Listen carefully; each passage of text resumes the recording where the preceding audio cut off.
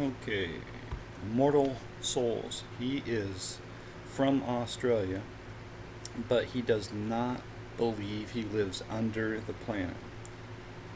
He says, once saved, always saved, which is the gospel of Jesus Christ, is a false gospel. We cannot deny that salvation is past, is a past and present tense event, but Scripture also speaks of it as a future tense event. That is in context with Scripture. In John's Gospel, Christ tells the apostles at the Last Supper to remain in his love. He adds that if we keep his commandments, we will remain in his love. But he who does not remain in his love is cast forth as a branch and withers, and the branches are gathered, thrown into the fire, and burned. John chapter 15, verse 6. So let's take a look at that. John 15, verse 6. If a man abide not in me, he is cast forth as a branch and is withered, and men gather them and cast them into the fire, and they are burned. So,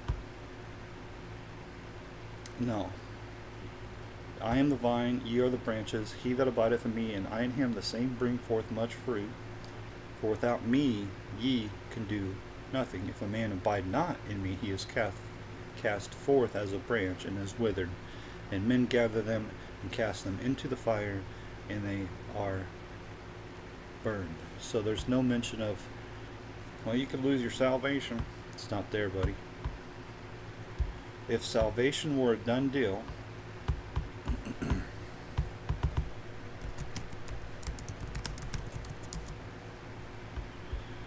grieve not the Holy Spirit of God, whereby ye are sealed unto the day of redemption.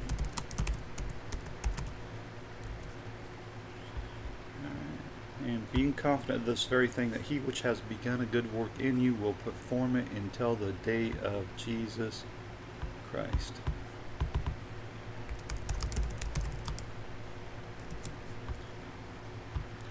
And this is the Father's will which has sent me, that of all which he has given me I should lose nothing, but should raise it up again the last day.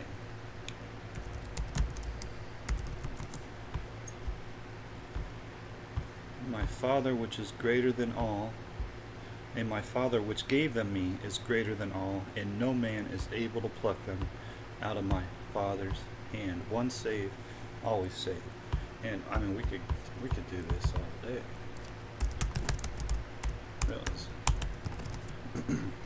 If you're not saved, you're not going to see it, and that's the bottom line. Whosoever drinks of the water that I shall give him shall never thirst. But the water that I shall give him shall be in him a well of water, springing up into everlasting life. And Jesus said unto them, I am the bread of life.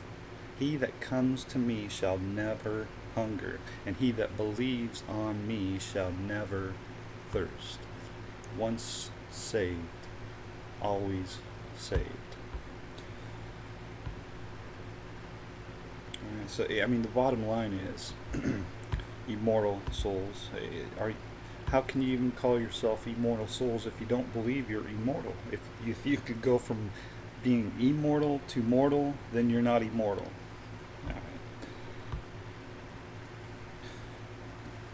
Jesus told his disciples to remain in his love because just as we enter freely into a relationship with Christ, we are free to leave him. Scripture is overflowing with examples of this. In Romans 11:12, Paul says, "Note then the kindness and the severity of God, severity toward those who have fallen, but God's kindness to you and provided you continue provided you continue in his kindness. Otherwise, you too will be cut off. In Galatians 5:4, Paul says, You are severed from Christ. You who would be justified by the law, you have fallen away from grace. This verse implies that they were united with Christ and in grace before they fell. um, Galatians 5 4. sometimes I wonder if people are making stuff up, but then, you know, there's got to be a reason why these guys say what they say. So in Galatians 5 4, Christ is become of no effect unto you, whosoever of you are justified by the law, ye are fallen from grace. okay, so there's no mention here of being saved and then losing your salvation. Uh, it is nonsensical because whosoever of you are justified by the law. So, what do you do? Sin? You can't say, well, they sinned, and therefore they fell from grace, so therefore they went from being saved to unsaved, which is illogical, by the way. You're not saved if you could be unsaved. You're not truly saved. It's illogical. Regardless, whoever of you are justified by the law, so they believe they're justified by the law. That would imply that they don't sin. But then you're saying that, well, they did sin, and then therefore they fell from grace. Does not make any sense. So, it's very simple. This is very simple, basic stuff here. These people are the kind of people that think they gotta be sinless. They gotta do it themselves to be saved. They do not believe that Jesus did enough to save them. They have to do something more than what Jesus did. And that's why they think they're justified by the law, and they're not justified by the law at all. Okay. So what what is he talking about? Severed. Where does that come from? Because I'm not seeing that. I'm not seeing that at all. You are severed from Christ. For I testify again to every man that is circumcised that he is a debtor to the whole law. I, Paul, saying to you that if you be circumcised, Christ shall profit you nothing. For we through the Spirit wait for the hope of righteousness by faith. It, I mean, it's as clear as clear as all can be, but where's this severed? What's he say? You are severed from Christ. That's is that? It's a. It looks like a quote.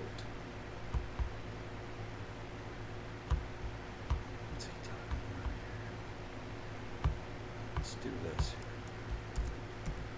Is this in the Catholic version? Let's see. Ye are. Is it ye are severed or you are? You are severed. Look at that. Ye are severed right there. What is that? Uh, look at that. Wow. There's several corrupt versions. Look at that. 12 times. A complete Jewish bold butter. Okay, ESV, there we go. ESV UK right there. So that's that's your problem you're reading corrupt Bibles that teach a false gospel. That's what I've been trying to say is that these corrupt Bible versions teach false gospels. They teach false doctrines and they teach a different gospel, a one that will not save anybody. NASB, you have been severed from Christ. That's not in the Bible at all that would nullify the entire Bible and make it a corrupt and crooked book. Um, Christ is become of no effect unto you. Whosoever you are justified by the law, ye are fallen from grace, because no man, no flesh is justified by the law. All right. So, uh, again, that's thanks for bringing that up. Mortal Souls because one, it shows that um, um, you know these verses that you shared. These are examples of everlasting life. Excuse me, and they're examples of um, once saved, always saved.